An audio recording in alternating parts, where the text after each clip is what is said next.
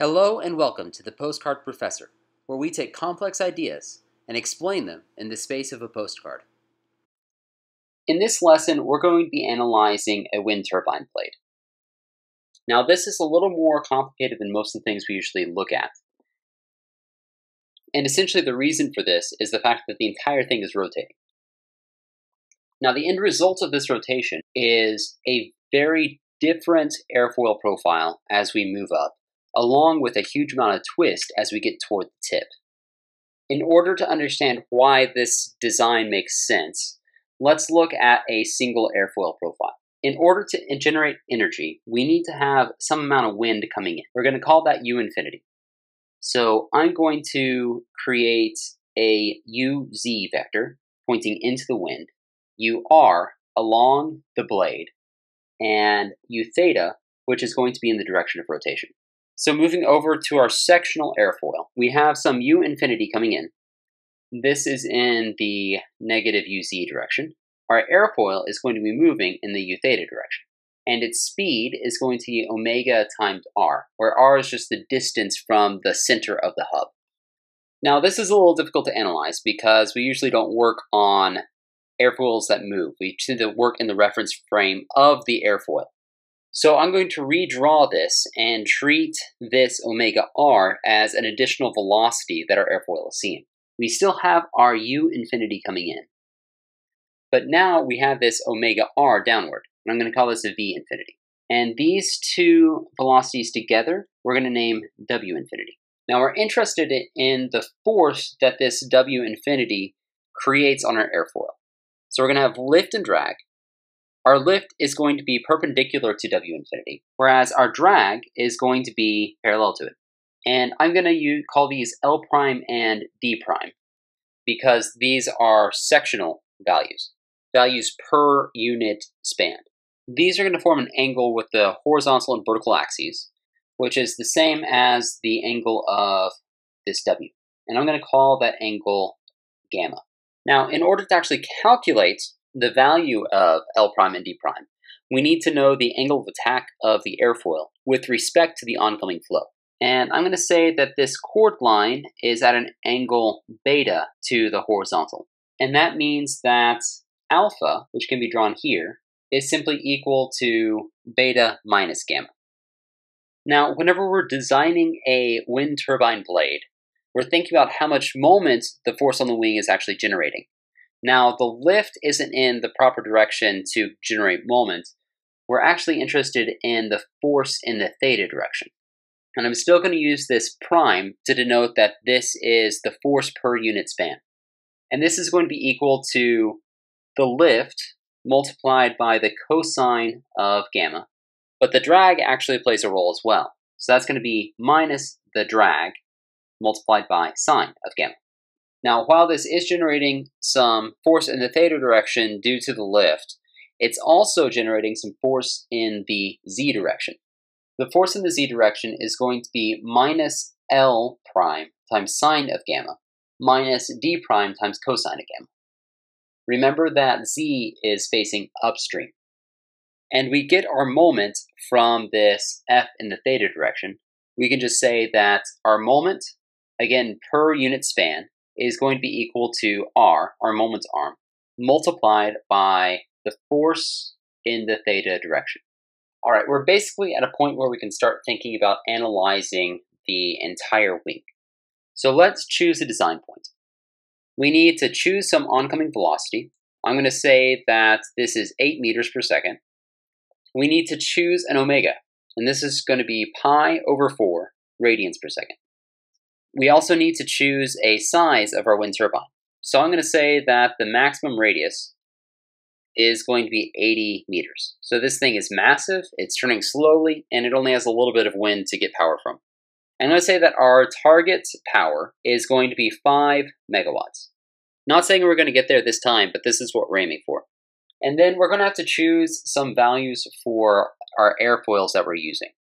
Let's just say right now that we're going to choose alpha so that lift over drag is maximum.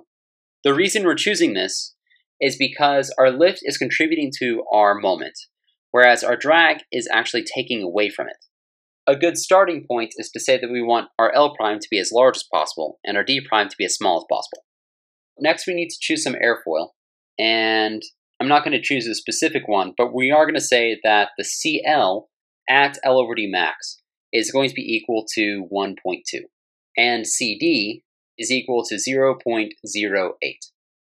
We've specified our alpha, and the way this translates into our actual twist angle is by solving for beta from this equation, which very simply is just beta is equal to alpha plus gamma. So this gamma is changing based on how far up we are on our blade. Alpha is remaining constant based on this L over D max, or it's changing a little bit based on what airfoil section we're seeing. But regardless, if we have all the information we need, we should know this. And then this beta will be the twist angle of the airfoil. So let's choose a specific section, which means a specific radius, and analyze that. So our radius that we choose is going to be 20 meters out from the hub.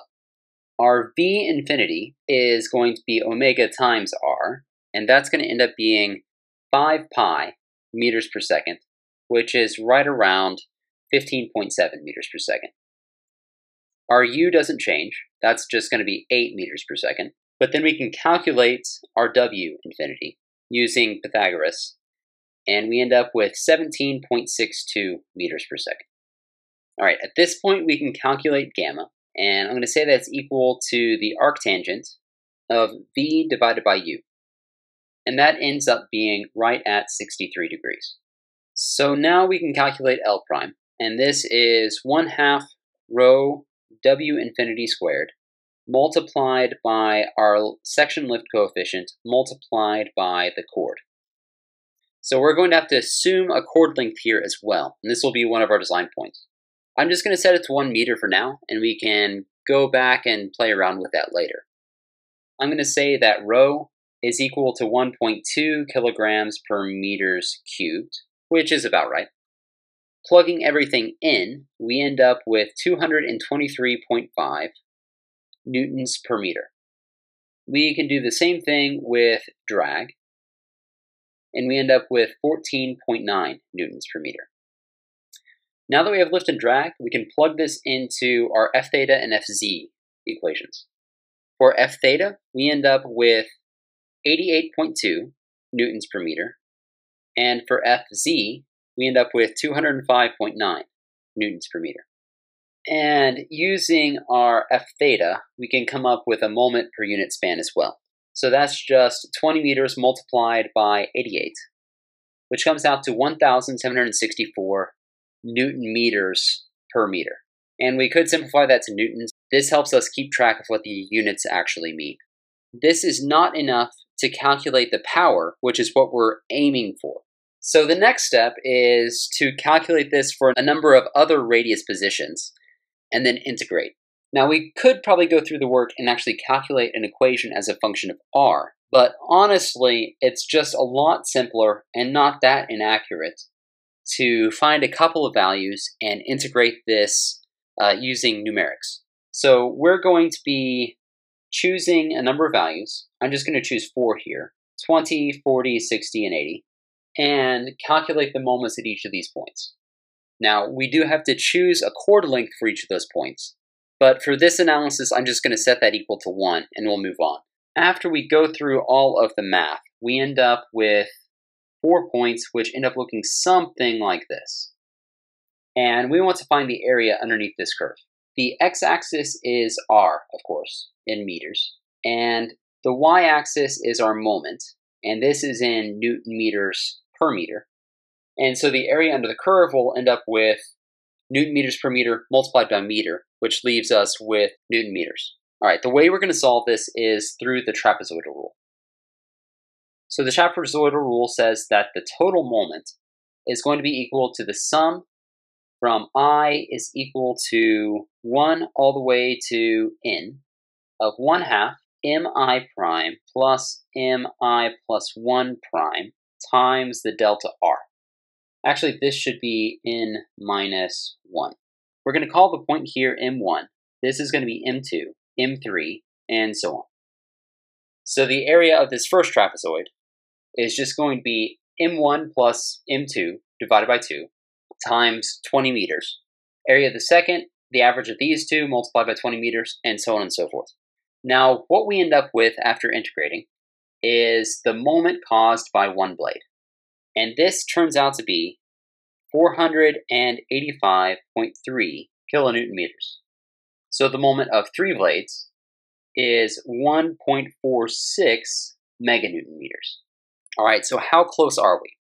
We can calculate the moment we need from the equation that power is equal to moment multiplied by omega. This means that our moment is simply our power divided by omega, which turns out to be 20 divided by pi mega newton meters. Now, this value happens to be right around 6.37 meganewton meters. So, based on our current analysis, we're off by about a factor of 4. In order to make this work, we're going to have to choose some different design points.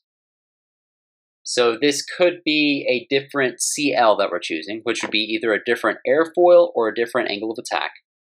We could change our chord length along the airfoil, maybe increasing some of these at the beginning. We could increase our omega, which would decrease our required moment. Or maybe we have to go back and actually change our radius. Now, our goal here is twofold. First off, we want to match our power requirements based on our design velocity.